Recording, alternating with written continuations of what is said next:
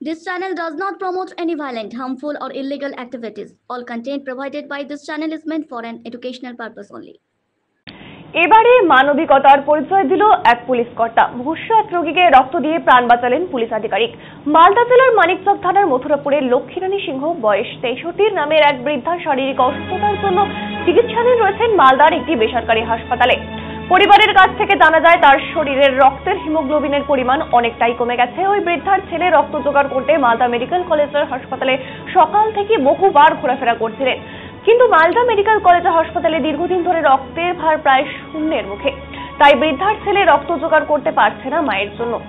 এই খবর মালদা ইংলিশ বাজার থানার এসআই সুজিত কুমার চৌধুরীর কাছে ফোন মারফত পৌঁছার সঙ্গে সঙ্গে ওই বৃদ্ধার ছেলের সঙ্গে যোগাযোগ করে ছুটে আসেন নিজের ডিউটি ছেড়ে মালদা মেডিকেল কলেজ হাসপাতালে।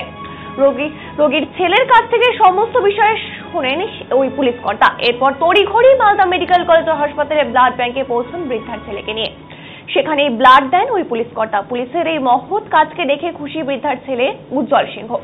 উজ্জ্বল সিংহ জানান, মায়ের রক্তের যোগান দিতে সকাল থেকেই তিনি বহুবার মালদা মেডিকেল কলেজ হাসপাতালে ঘোরাফেরা করছিলেন। কিছুতেই তার মায়ের রক্ত তিনি জোগাড় করতে পারছিলেন না। কোনো মারফত তিনি ওই পুলিশ আধিকারিকের খবর পান। এরপর তিনি ফোনে যোগাযোগ করেন ওই পুলিশ কর্তার সাথে। তার ফোনেই ছুটে আসেন মালদা মেডিকেল কলেজ হাসপাতালে এবং তিনি মায়ের রক্তের পজিটিভ রক্ত জোগাড় করেন পুলিশ কর্তার কাছ থেকে। তিনি আরও জানান যে, পুলিশকে দেখে সকলেই ভয় করে, আমিও করি। কিন্তু পুলিশ এইভাবে আমার পাশে এসে দাঁড়াবে এবং আমার মাকে একটি নতুন জীবন ফিরে দেবে স্বপ্নেও ভাবতে পারিনি। তাই তিনি পুলিশ কর্তাকে ধন্যবাদ জানান।